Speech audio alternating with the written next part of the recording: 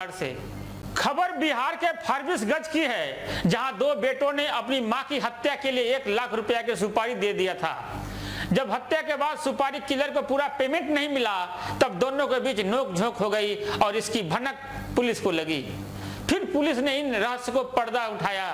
देखिए ये रिपोर्ट।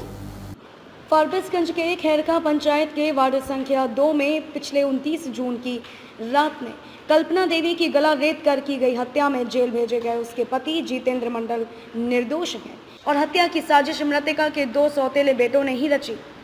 सौतेली माँ की हत्या के लिए पुत्रों ने एक लाख की सुपारी भी दी थी और हत्याकांड कारित किए जाने के एवज में बकायदा पचास हज़ार रुपए का भुगतान भी कर दिया।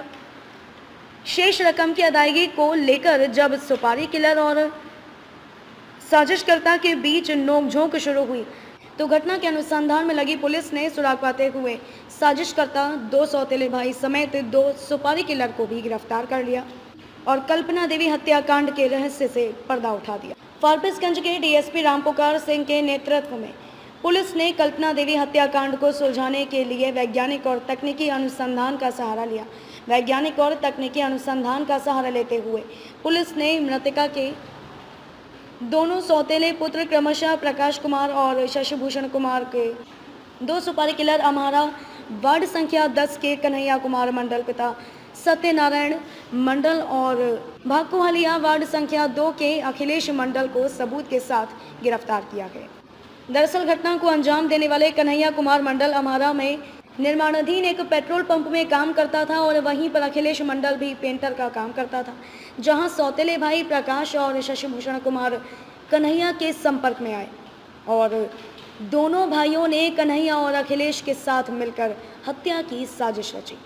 हत्याकांड को अंजाम देने के लिए एक लाख में डील हुई, जिसमें दोनों भाइयों ने बकायदा पचास हज़ार रुपए का पेमेंट भी कर दिया, लेकिन 29 जून की रात कल्पना देवी के गला रेत कर हत्याकांड की घटना कारित होने के बाद शेष पचास हज़ार की रकम की अदायगी को लेकर आनाकानी होने और एक बार झंझट होने के बाद अनुसंधान में लगी पुलिस ने सभी को दबोच लिया। दरअसल मामले में मृतक के परिजनों द्वारा मामला दर्ज होने के बाद पुलिस ने आरोपी बनाए गए मृतिका के पति जितेंद्र मंडल को गिरफ़्तार कर जेल भेज दिया था। लेकिन पुलिस मामले के अनुसंधान में वैज्ञानिक और तकनीकी अनुसंधान का लगातार सहारा ले रही थी और अनुसंधान के इसी चाल में साजिशकर्ता और आरोपी फंस गए। नाबालिग के साथ सात वर्ष आठ वर्ष की बच्ची। क्या मामला है सर? दो दिन पहले नरपतगंज थाना के खैरमा गाँव में आठ वर्ष के बच्ची के साथ पास के ही उसी गाँव के जो उनके संबंधी लगते हैं पड़ोस के दिलीप यादव के द्वारा बच्ची को बहला फुसला कर उसके साथ दुष्कर्म किया गया था और दुष्कर्म के क्रम में वो उसकी स्थिति काफ़ी नाजुक हो गई थी। उसके परिजन के द्वारा दक्षिण हॉस्पिटल में भर्ती कराया गया था। तो प्रथम दृष्टया उन लोग को ये समझ में नहीं आ रहा था कि बच्ची को क्या हुआ। है जब दूसरे दिन जब होश आया तो बच्ची के द्वारा बताया गया कि हमारे साथ, हमारे ही गाँव के जो हमारे संबंधी हैं उनके द्वारा हमको दुराचार किया गया था। और उसमें जो दुराचारी है, वो जिस समय से घटना हुई थी, उस समय से हॉस्पिटल में उसके साथ साथ ही रह रहे थे। लेकिन जैसे ही बच्ची को होश आया, वो वहाँ से भाग गए थे। हम लोगों ने इसमें त्वरित कार्रवाई किया हमारे पुलिस अधीक्षक का था कि इसको रात रात तक इसको अंजाम पहुँचाया जाए।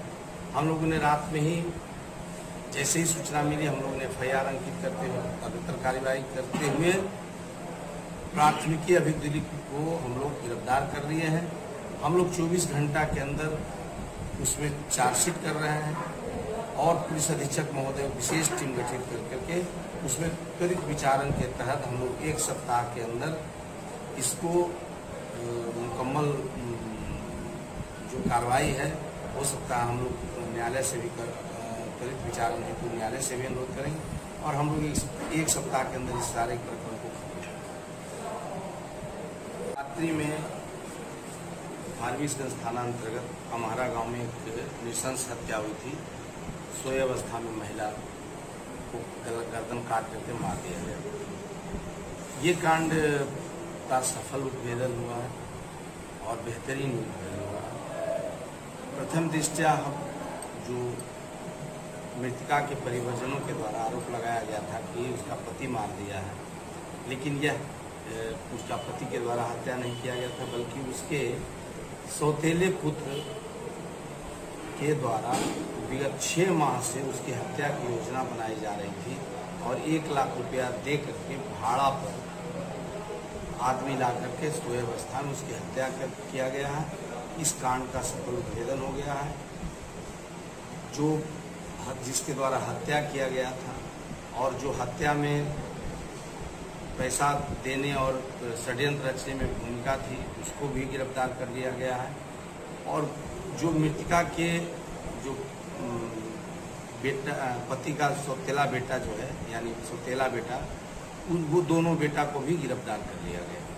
इसका वैज्ञानिक अनुसंधान भी किया गया था, वहाँ पर से महत्वपूर्ण साक्ष्य को एकत्रित किया गया था। सभी को मिलाया गया कि किस प्रकार घटना हुई।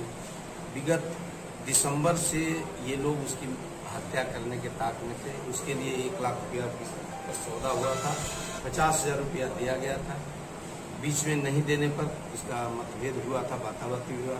और घटना के दिन ये लोग आकर के बेटा उससे फ़ोन पर बात किया। उसका सबूत है प्रमाण है और हत्या कर दिया गया था। इनमें सभी की गिरफ्तारी हो गई है। हम लोग इस कांड को भी स्पीडी ट्रायल के अंतर्गत रखेंगे। और इसका पिता जो अब तक के कांड में अनुसंधान में निर्दोष पाया गया है हम लोग उसको जेल से मुक्त करने हेतु भी न्यायालय को अनुरोध करेंगे और मुक्ति की दिशा में भी कार्रवाई करेंगे। हत्या क्यों कही जा रही है? हत्या नवंबर में इसका पिता जो है शशि के शशि भूषण के पिता जितेंद्र मंडल। के द्वारा पाँच बीघा ज़मीन इस जो दूसरी पत्नी है, उसके नाम से कर दिया गया था वसीयत कर दिया गया था। और हाल में मकई जब उपजा था तो दो ट्रैक्टर मकई जो उपजा हुआ था, ये बेच दिया था जितेंद्र मंडल, और पैसा घर में नहीं दिया था। तो इन सब, यही विवाद था, मूल स्वरूप में था, ज़मीन अपने दूसरे पत्नी के नाम से कर देने के कारण ही इसका बेटा भाड़ा पर के अपराध कर्मियों को ला करके हत्या कर